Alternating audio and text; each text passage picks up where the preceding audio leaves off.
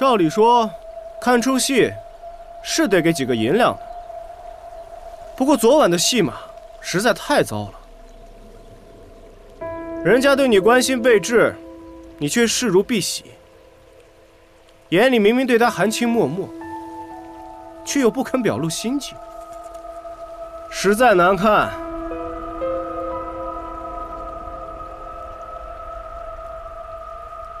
赏你这朵狼骨花，毕竟这出戏没有功劳，也有苦劳。哎，别扔啊！这可是你精心为摘星准备的狼骨花。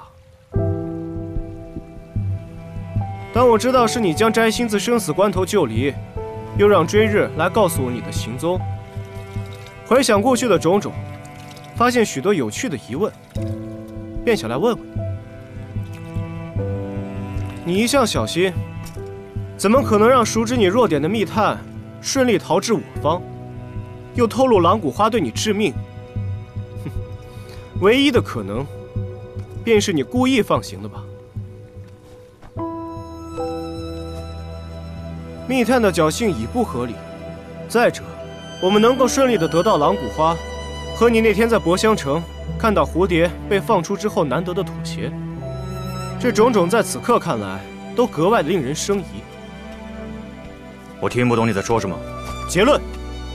你根本就是想让马摘星顺理成章的杀你于博香，以命还他，一心想要杀你的心愿。堂堂博王的转变，令人困惑，难以尽信。我不明白，我相信一路上被你蒙在鼓里的马摘星，也很想知道。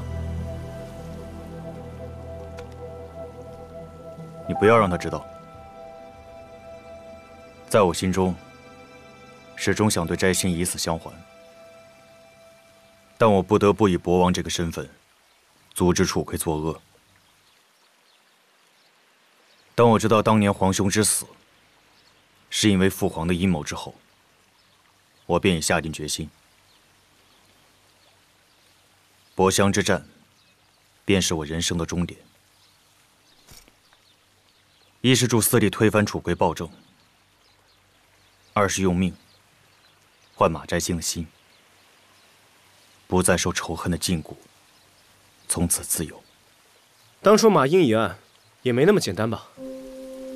当初我和叶煞到夔州城监视马英，没想到楚奎背着我给叶煞直接下了刺杀命令。他为了达到日后牵制马家军的目的，才留摘星活口，而我被蒙在鼓里。等我得知真相时，为时已晚。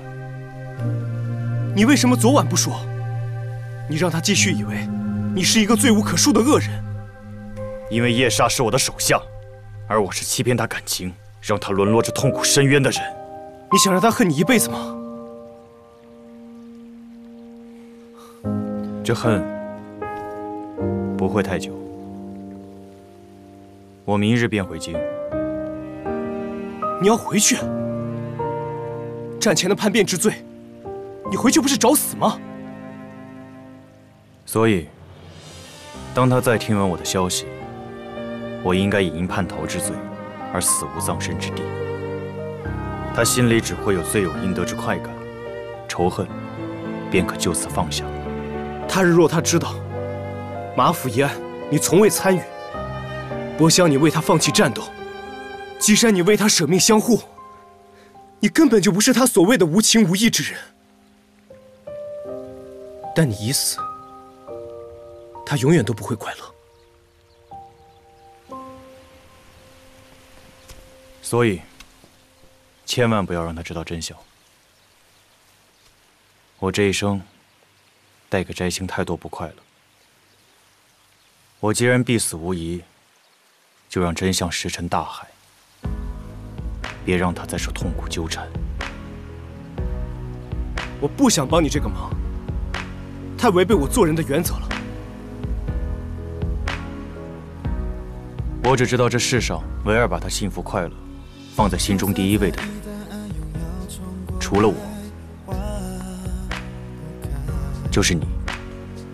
就在在烈日鸳鸯之下博香之战，摘星被我救走，晋人定会非议我们的关系。你务必要保护好他，不被世人误会。季冲，我对他的所有希望，只能托付给你。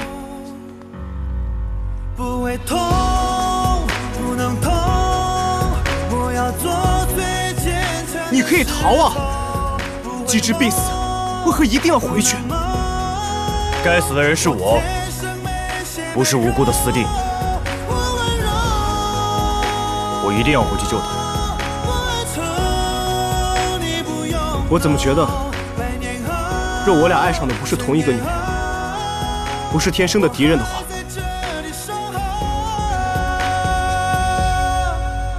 我会交你这个朋友。朋友，这辈子没机会了。我这一生注定没有朋友。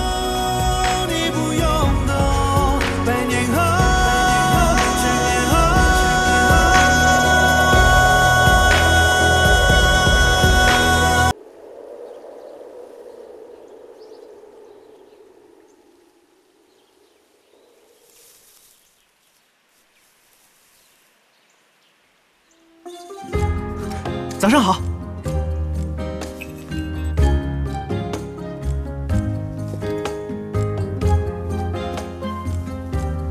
哎，他早被我打跑了。他可是博王，怎么那么容易会被击败？那要看他在博乡伤的有多重喽。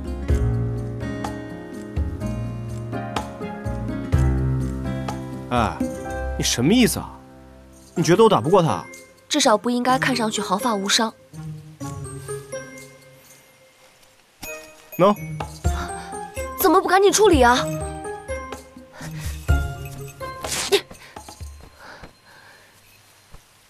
等你帮我。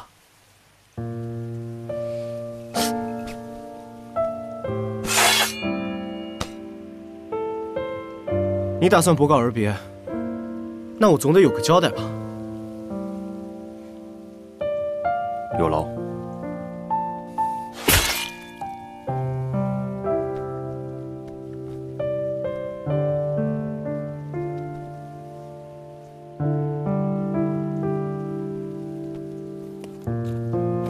怎么了？看到我不开心啊？我直到现在还不明白，博香一战究竟发生了什么事。如你所见。狼骨花让博王战场失利，所以当他醒来，发现溃不成军，你又昏迷，有机可乘，所以他掳走你，当做人质，用来要挟我们。我派追日来找你，终于发现了你的行踪。事情始末仅是如此？嗯，仅是如此。